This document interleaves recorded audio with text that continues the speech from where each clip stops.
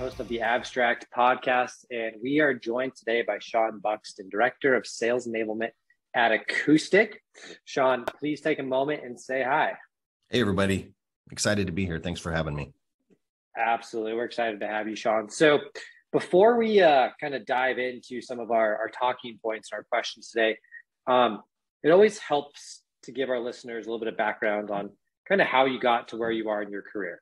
I think one of the best parts about working in tech is that no one goes to college and goes, I'm going to go work in tech. Specifically, I'm going to go work in sales in tech. And so, kind of give us the Cliff Notes version of, of how Shawn got to Director of Sales Enablement at Acoustic. Okay, I'll give you the short version because I might be older than a, a few of your listeners.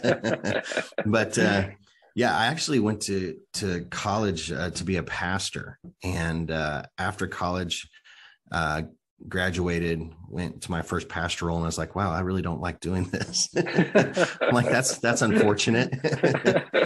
um, so anyway, I, I didn't have any problem with the man upstairs, but it, the job itself was not what um, what I thought it was going to be. But I learned a lot of I learned a lot of skills that I'm a, that I was able to parlay into the sales world. You know, I was basically selling uh, something that you couldn't see, that you couldn't touch, you couldn't you couldn't feel, you know. But but you got to change your whole life to get it right. Yeah. And so um, it was pretty easy actually for me to transition into the sales world and. Uh, as long as I could sell a product ethically, uh, you know, I was all about it. And so over the last 20 years or so, I've either been selling things as an individual contributor, leading sales teams, or coaching sales leaders and sellers. And and I typically will sell, you know, for three to five years, and then take some time off and go do enablement, and then I come back and sell and do enablement and come back and sell. And I, I like to keep going back and forth because it keeps the, you know, the axe sharp.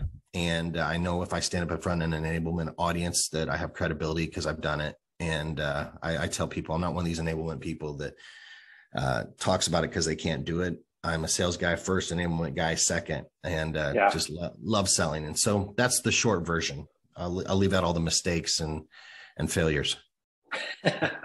well, there's uh, some interesting things to dive into there, and I'll, I'll first begin by saying I um, I've known a lot of sales enablement folks over the past eight years in, in tech sales, and the ones that are successful are the ones that were successful in sales and realized they enjoyed helping, enabling, teaching, coaching more than selling.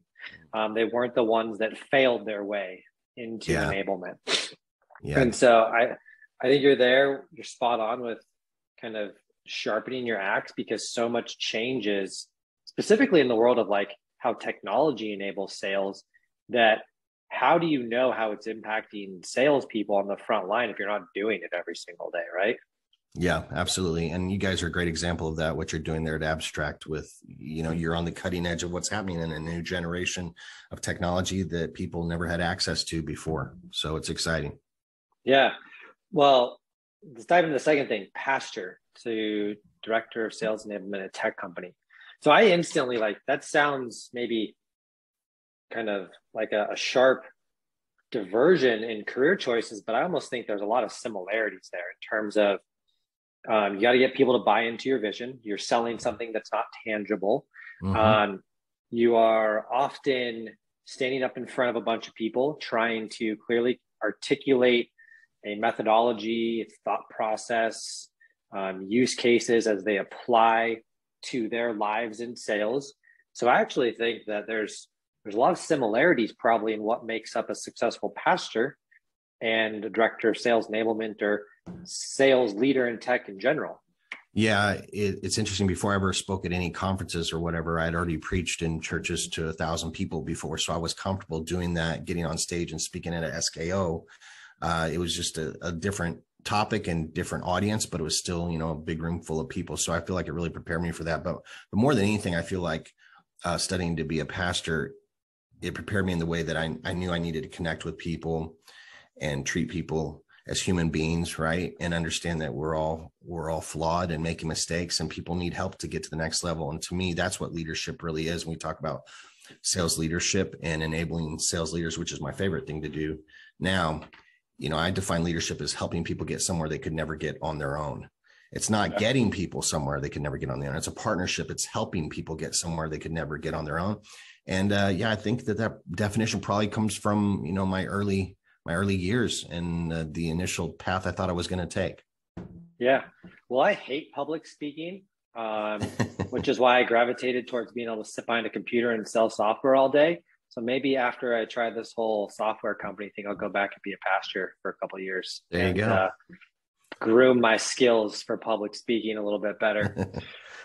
um, well, let's dive into some of our questions. Um, so you have your day job, but there's also kind of something that you're trying to do on the side in regards to kind of enablement and consulting around culture. And um, you've kind of experienced some of these things firsthand and how culture can really kind of make or break a, a company, but we'll focus on like a sales, the sales org of a company today.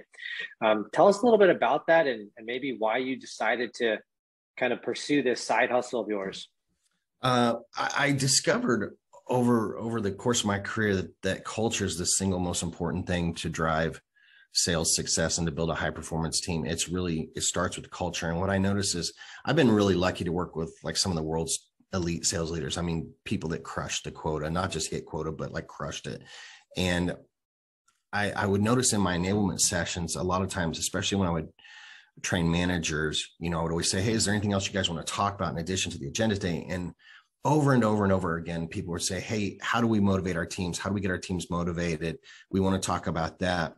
And so I started thinking about that and giving a lot of thought to, you know, of course, initially I was just giving kind of the same BS answers that you always get. Well, you know, make sure you're listening to them, make sure they have a voice, you know, and it's not that that stuff isn't, isn't true, but it's just so you know old and tired and generic. I mean we all know that. You can get on linkedin and just read post after post of people saying you know people don't leave their company they leave their boss and you know that kind of list just like drivel. It's it's not enlightening anymore right? We've yeah. all heard that.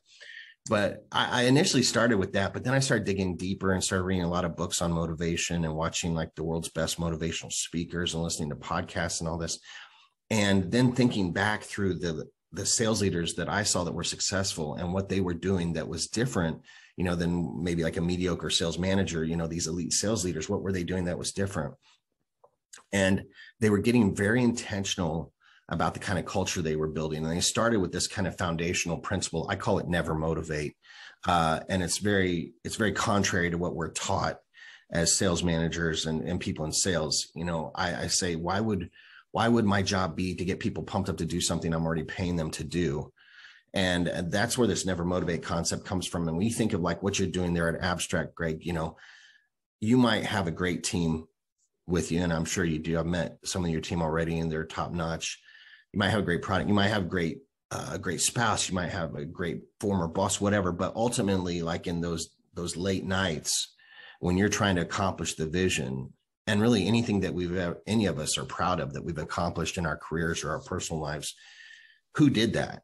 Well the answer for all of us is i did that you did that right? Like you had people to support you but ultimately to accomplish something great that we're really proud of we have to look inside of ourselves and find that self motivation right? We can't expect others to get us pumped up to accomplish something great. It's just not going to happen. But yet, sales managers spend so much time, and this is one of the key differentiators between a sales manager and a sales leader for me. Sales managers spend so much time trying to get people hyped, right, to do this sales role instead of creating an environment and a culture where self motivation, self motivation is expected, incentivized, encouraged, celebrated, every day. And I, as the sales leader, will give you the tools, the resources, the support you need to do that. Right. But you, your part of the agreement is you're going to bring your A game every day. If you don't want to do that, that's fine. We can go have a beer and be friends, but you're not going to be on my sales team. Right. And setting that expectation up front with people. And that's what I saw. And, and leaders that were able to build that intentional culture with that foundational principle that's that was kind of like the first thing that I unlocked uh, and I thought, man, like the light went off in my head, and I started sharing that message with with uh, with my sales managers and at conferences and stuff. I do a, a talk called Never Motivate, right? And I started sharing that with people, and they're like, "Whoa!" Like I think we all know this intuitively. We we all know that this is true, but we like to play this little stupid manager game where you know, hey, come on, everybody. And it's not to say that you don't recognize people for great things. That's part of a great culture. It's not to say that you don't do spiffs and have fun. That's part of a great culture too. It's when we expect things that are that are temporary, which is really inspiration. That's what we're capable of is inspiring people temporarily. And when you inspire somebody, basically what you're doing is you're helping them imagine something doing something great right? But that's very temporary and that's really all we're capable of. To really truly motivate somebody we just don't have the ability to create that in some inside of somebody else. If you think of motivation you define that as as people actually having a drive inside of themselves to accomplish something great. Not to just imagine it and give them the warm and fuzzies and feel good but really to do something to execute that comes from within plugged into the right kind of culture. Uh, so that's a long answer to your question, but what I'm doing now is I'm focusing on with my team at Acoustic, and then I really would like to work with more and more startups, establishing that up front. It's so much easier to establish the kind of culture you want up front because culture is going to happen anytime you get people together. The difference is, you know, do you want an accidental culture or do you want an intentional culture? And I work with leaders to build intentional cultures where they outline this is what we're trying to accomplish. These are the things we're going to do to get there. This is the way in, the, in which we're going to execute. And if you want to be part of that, awesome. If you don't, that's okay too. But you can't work here. Um, and so that's uh, that's what I've what I've learned really from you know the best sales leaders on the planet in my career, and I'm just trying to spread that message to others. Well, I think um, you just gave us enough to, for the entire podcast, so we're done. Nothing left to talk about. um, so this morning, um, I was listening to you. So do you know who David Goggins is, Shawn? Yeah, yeah. He's so, a guy like I. Your feet are bleeding. Keep running. That guy. yeah, yeah. And uh, he talks about this 19-hour race that he did, and oh, um, he uh, was sitting in a, an ice tub after, and he um, his mom called him and was like, "You need to go to the hospital." And he's like, "Yeah, I know I need to go to the hospital." But I'm going to just sit here and enjoy this pain for a second because I just accomplished something that no one said I could ever do. Yeah. And it just makes me realize there's such a difference between motivation versus inspiration. I love inspiration is fleeting. Inspiration falls apart the moment adversity strikes. Motivation allows you to keep going. And I ultimately think that that starts with uh, starts with why. Simon Sinek wrote a great book on Start with Why Mm-hmm. And so when you build an intentional sales culture, um, you have to kind of start with that foundation like, why are we bringing these people on board? And then why do they want to be a part of our team? Is it because yeah. they want to make a good salary? Great. They can go make a good salary anywhere. Um, do they want to cool sell a cool product? Cool. They can go sell a cool product anywhere. Um, do they want a ping pong table? Like, is that what culture means to them? Great. You're not going to work here. Um, and so, so much of that I would say, Shawn, and please feel free to disagree with me, starts with how do you identify cultural fit in the interview process mm. so that you're building that intentional culture and not allowing it to be accidental by by allowing people to bypass or kind of fake their way through the interview process and yeah. accidentally land up on your team. Uh, I think that's a great question. I would back up just a little bit though, and I would start at the beginning. I would say most sales managers uh, that aspire to be sales leaders, and if you define, you kind of see a pattern here with me, right? Like I like to define words, I get into semantics, but I feel like the more you can define the word, the more action you can take on it. Yeah. So it's not to say that these are black and white definitions and they're absolutely 100% true in every case, but I like to almost present them that way because it helps me helps me make sense of the thoughts and take action faster. If you think of a manager as somebody who mainly monitors and measures and reports things that have already happened, like they're very reactive, right? It's not that that's bad; it's important. That's an important uh, skill. But the truth of the matter is, most people can learn how to do that. It's basically like you, as my boss, if you're my VP of sales, you teach me how to read. Uh, read the report or submit the report you want. You teach me how you like me to forecast, and almost anybody can do that. Whereas a leader is is a more of a visionary obviously like they're saying okay here's what we're going to do. Here's the things we need to do to get there. Here's the way we're going to do it and it's moving forward. It's working in the present. So to answer your question is like how do you interview for for for culture fit? I would say you have to know exactly what kind of culture you're building and most sales managers don't know that. Most hell most vps don't know that. They've never sat down and thought about what kind of culture am I trying to build? If you ask them something like that, they'll give you some some kind of adjectives usually. They'll say something like, "Well, I want it to be fun, I want it to be inclusive, I want it to be competitive." That's great.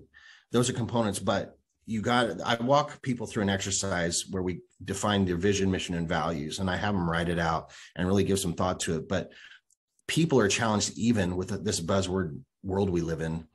People are challenged even with just discerning between what's the difference between a vision and a mission right? I've seen companies, corporate HR, run out, roll out something and call it their vision. It's really a mission. Like we we really just throw these terms around and we really don't understand them. If you think about a vision, you define it this way: the vision is where you want to go or what you want to be known for. So if I'm working with a sales manager or even a director or VP of sales, I say, okay, uh, imagine that you're going to be leading this team for the next three to five years. And according to statistics, if you're at a sales manager level or director level, that's probably the case especially in tech. You're going to lead them for three to five years, and then they're going to move on, or you're going to move on. You're going to get promoted. You might go to a different company, what have you, right? So this isn't like my lifelong vision, like my legacy, but it's also not, you know, next year. So a vision is not to go to President's Club or to get everybody to Circle of Excellence. That's a goal, right? A vision has to be something aspirational, almost like so big that it kind of sounds crazy that you even think you can do it right? Because that's what people are going to get excited about. That's what they're going to want to get on board with. It isn't freaking hitting quota. That's not a vision. That may be a goal. That should only be a goal for you know the next two quarters after we do it then we should stop talking about quota and move on to you know bigger and bigger numbers and and and stretch ourselves. But i digress. Vision is where you want to go or what you want to be known for at the end of your time leading this team. Mission then is what actions or how are you going to get there? What actions do you need to take or how are you going to get to this destination? The vision and then the values which is what a lot of leaders think about when they think about culture they start rattling off these values or adjectives is in what way are you going to execute the mission to achieve the vision?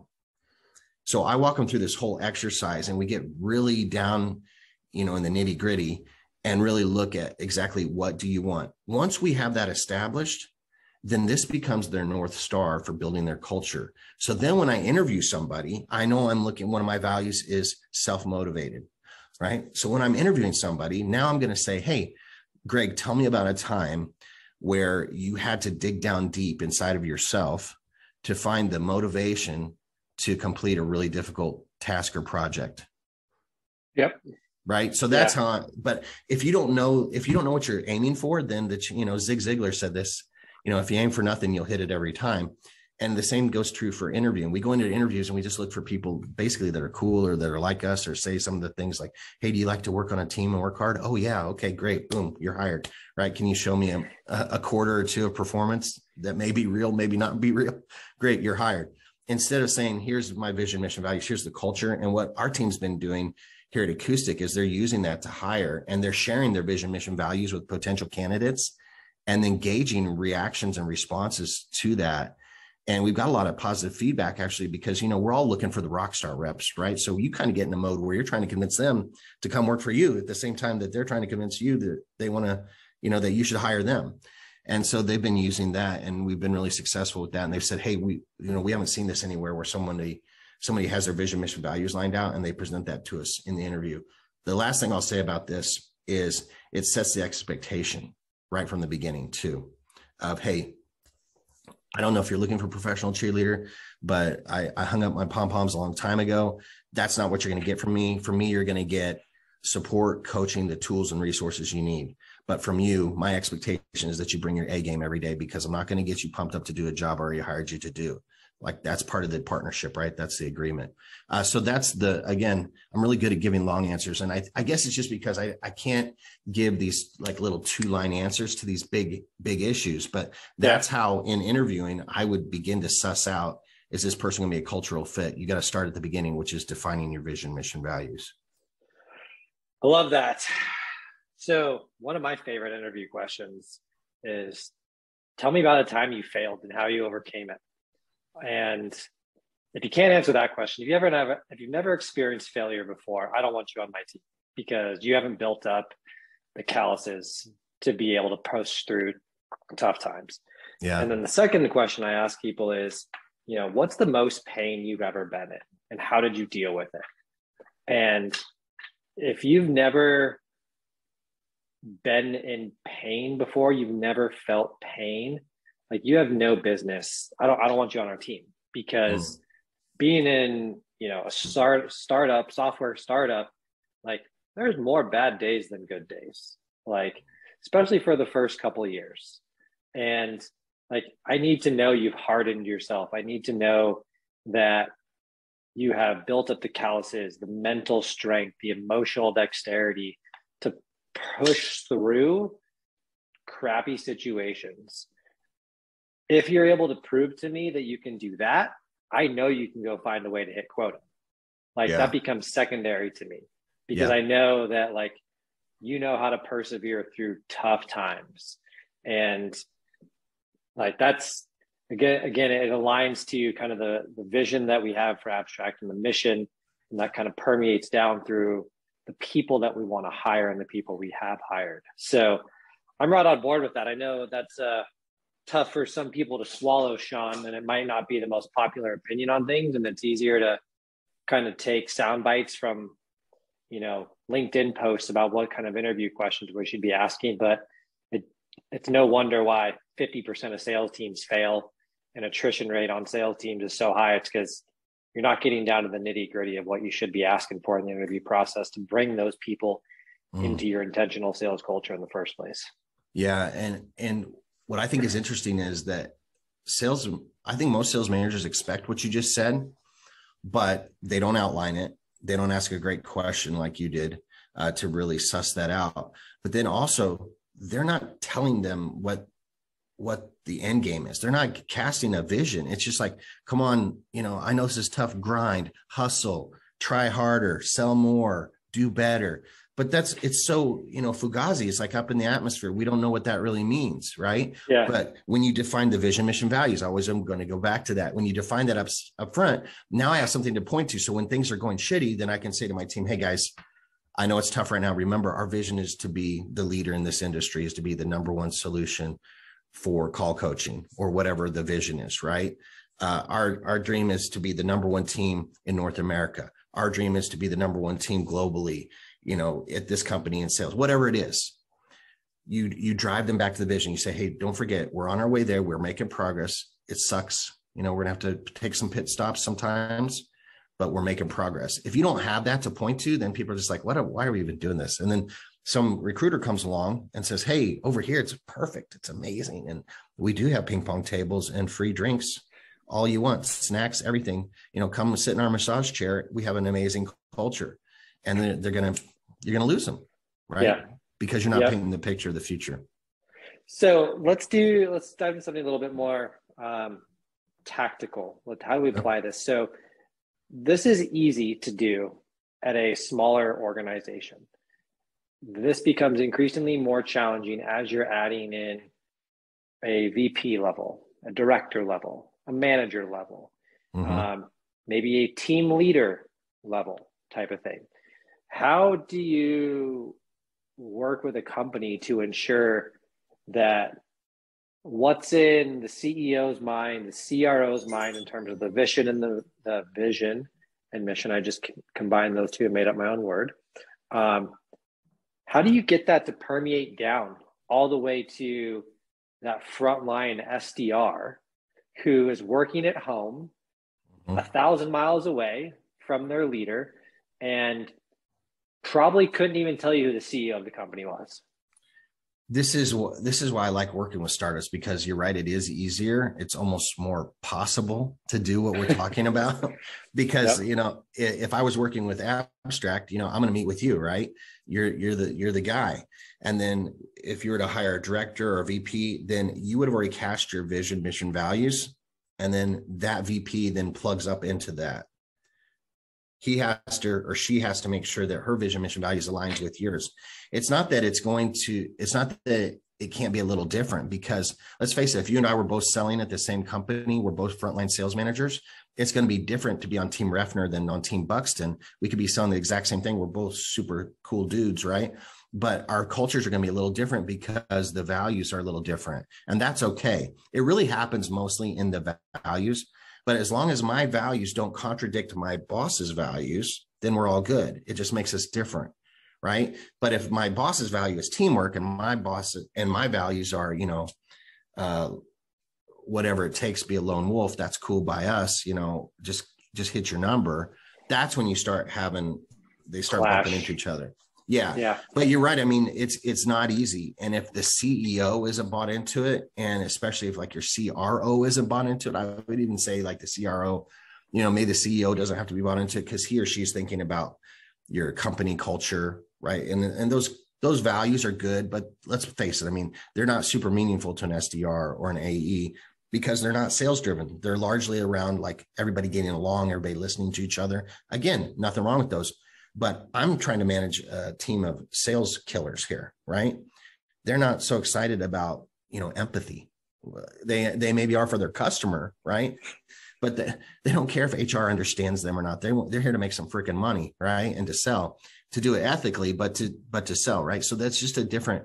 That's why I only work with sales organizations. like I don't I don't do leadership training for uh, HR or for finance or accounting or like because we just don't even speak the same language. They think I'm a weirdo. But if we're talking sales and we're driving performance, that CRO's vision, mission, values, if he or she sets that, then your your VP comes under, he or she sets theirs so that it plugs up into there, and director and sales manager. Um, some people I've heard some people are like, especially up high, this is a new kind of concept for them.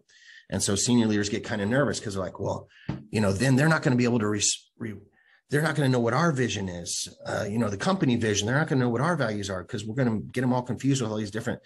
And my answer to them is they don't know that anyway. Like you, I know you did that one. I know you did that one hour webinar and you thought it was really great. Um, half of them weren't there and the other half weren't listening. They were checking their email during it. And they, you can go up to them at any SKO. They're not going to be able to tell you what your freaking values are of your company. But you know what? The where they live every day and what you care about, which is them selling, and to your point as people are remote them feeling like they're part of something other than their you know kitchen table that they do know about. That message comes to them frequently from their manager. That comes from their director. They do they are able to say my team vision is to be number one in north america. Our values are drive in uh you know whatever whatever values you want to come up with right? Innovation discipline whatever. It could be anything. So yeah. uh, it's not easy. It's not easy. And that's why most people don't do it. Most people just would rather be like, they would just rather talk about culture and we have a great culture. And, uh, you know, that's about as far as it goes. So I know you don't like working with other parts of the, uh, a company, but what's been always interesting for me being in sales is it, um, when leader of a company gets up there and touts, you know, here's what we're going to do and we're all going to perform. And then in sales i feel like everybody else is kind of allowed to not do their job well like products allowed to miss deadlines. Um, customer success is allowed to lose customers. Yeah. Marketing is allowed to not hit their number. Um, hr is allowed to not hit their you know happiness score or whatever. The sales team yeah. you know if you miss your number right? Like you're screwed. I feel like you, if you're gonna take that approach and align, like you can't contradict yourself. You can't be hypocritical. If you're gonna be a leader of a company, like the that the culture you establish has to permeate through every part of your organization, or sales will start kind of going like, well, they're not doing what they're supposed to do. Like, how important is that? Right? Have you ever mm-hmm. seen like I've experienced that maybe I've just kind of lived in a bubble in my experience, but have you ever kind of experienced that kind of holding sales to maybe a different standard than other parts of the company? Uh, only every place I've ever worked in sales, yes. yeah, I mean, I, it kind of comes to the territory. I think. Um, I think that that happens not for malicious reasons normally, but because I think it's so hard to measure what a lot of these other departments do. And I'm, I'm not trying to to talk bad on them. Obviously, I love sales and I think it's the best. That's why I'm in sales. Uh, but that being said, I think it's hard to, me- you know, like you were struggling to come up with an example of how you measure HR. Like happiness score. What the what the hell is that? Right. Uh, that's what I love about sales is you can look at the scoreboard and say, okay, we won or we lost. Right. Yeah. We, yeah, we it's numbers. Yeah. It's numbers. Right. And so that's the beauty. And uh, also at the same time, the the hardest part about sales is that you are constantly being watched and measured. I think what's important is, you know, we talk, I, I have a program I put my sales leaders through called the Sales Leader Trident. And and part of that is uh, the third part is overcoming obstacles for performance is the third area we focus on. And the concept behind that is we want our sellers laser focused on what they're there to do, which is to sell, right? Don't get caught up in all this drama. The obstacles that are that are in front of us that we can control are usually breakdowns in communication uh, amongst the team, amongst us and other departments, things like that. I think the danger comes when we let them get focused on things that are beyond the control, even many times the frontline manager, right? And if you're if you're held by private equity or if you're a public company, you know it's beyond even sometimes the VP's uh, sphere of control. And so, in that part of the uh, the training, we talk about, hey, let's focus on what we can control, what we can measure, which is driving sales. We know that if you're scared that you're getting inquired and you're going to lose your job, there's one good way to make it look like you shouldn't lose your job, and that's to crush your number. You know, if uh, if we're going public and you're worried about the, the best the answer is to crush your number, that's always the best answer in sales is to focus on what you can control, which is the number. And then the role of the manager then is to go and to advocate for his or her team and and you know to try to even the playing field like that but i you know i wish i had a great answer for you. I've seen it a lot. I kind of think it just comes with the territory. Yeah that's fair. You have to i mean you have to know what you're getting yourself into in the world yeah. of sales right? Like you're only as good as your your previous as good as yesterday. What what did you do for me yesterday? And as soon as you own that and use that to motivate you um, like i think that's one of the best part about sales is you kind of control your own destiny. Like there's not a lot of jobs out there in the world where you can be a top 1% income earner at a very early age yeah. and also dictate whether you have a job tomorrow or not. Yeah. Like it is i think it's exciting right? I think uh and for the right people that we would want to have on as part of our intentional culture they're going to want they're going to see that as exciting too and they're not going to see that as risk or um, you know potentially use that as something to, to scare them away so. Yeah so i mean i think sales is the greatest profession in the world. If you can sell you always have a job. It may not be at the company you want or selling the product you want but that skill by itself uh, is the most powerful skill i think that you can have. Yeah. that's why i love yeah. teaching people how to do it better. That's why i love doing it myself uh, because it's just so powerful. And to your point, I mean, it's such an amazing opportunity to be able to sit now at your kitchen table, right, with a headset and talk to people all over the world and make, you know, 200 grand, 300, who knows, as much as you want, right? And you're sitting there, you're freaking 20, 25 years old. Yeah. It's amazing. It's an amazing opportunity. Uh, that's why at our company and uh, I think any company that is is wanting to be successful consistently, not just get lucky. Um, that's why they need to communicate that with with candidates, the expectation, you know, and set that standard of excellence through yeah. the culture. I love it. Well, we didn't get to nearly almost all of our questions that we had planned, Shawn. Um, Sorry about so, that. I feel but, like that is uh, my fault. no, it was good. We, uh, I, I love it when these conversations just organically kind of diverge into different topics. But um, kind of wrap things up, if you know anybody wants to get a hold of you learn more about what you do and potentially explore working with you what's the best way to do that shawn? You can go to seanbuxton.com and uh, there's contact form there. You can see some of the things i like to talk about but it's mainly around building high performance cultures building a consistently high performance culture not you know just getting lucky every once in a while because you inherited a good culture. Yeah. but how do you keep that culture and use it to drive performance quarter after quarter after quarter? And again the beauty of everything that i talk about is i've just kind of consolidated it right? These aren't these aren't my own ideas. These are from the world's best elite sales leaders. And you can go and listen to one sales trainer and he and hear what he or she thinks about everything. And and it might be spot on.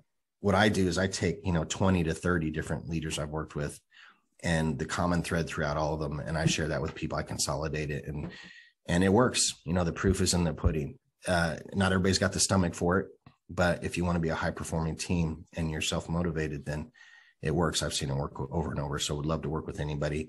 And then in addition, you know, check out Acoustic uh, for all your digital marketing. uh, needs, we're there for you as well. And uh, don't forget Abstrakt.